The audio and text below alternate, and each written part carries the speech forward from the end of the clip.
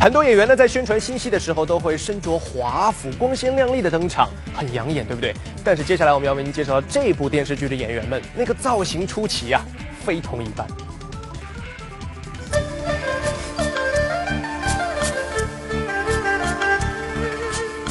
电视剧《我在北京挺好的》讲述的是上世纪八十年代以后一对亲姐妹在北京的奋斗历程。可看看这主演一个个默契的戴墨镜现身发布会，难道他们是要集体耍酷吗？戴口，下午好。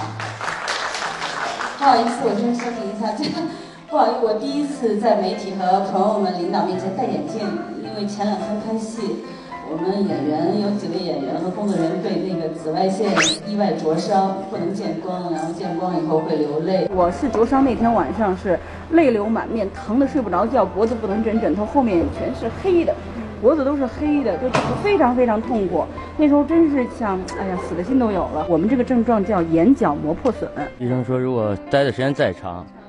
就容易就直接就失明了。原来在拍摄一场医院中的戏份时，因一时疏忽没有关掉紫外线灯，令众位主演都被灼伤，不得不戴墨镜出席发布会。再仔细看，王建华小手指也被包扎了起来，这又是怎么回事呢？我在这个戏里伤痕累累，这个就是救她，她她是我的妹妹，然后呢她自杀，然后呢那个我去破窗而入，然后去救她。在演这场戏的时候，我这个手的关节就错位了。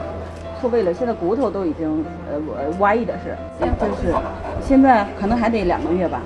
嗯嗯嗯，所以这个戏呢也是对我们来说多灾多难啊。为拍戏首演都不幸受伤，于是王建华才有了这一身打扮。其实还有一个问题已经让外界疑惑很久，那就是他略显发福的身材，难道也是为戏而特意增肥？特别简单，就是我生病了。我生病了，对，就是呃，就是小的时候减肥不当，然后那个身体的内分泌失调，整个的消化循环系统严重的破损，所以呢，就是在在在两年前就已经甲状腺低下，啊，拍《小麦进城》的时候是我病最重的时候，啊，现在在服药，然后已经好了很多。我相信以我的毅力，总有一天我会回到回到女人的那个样子。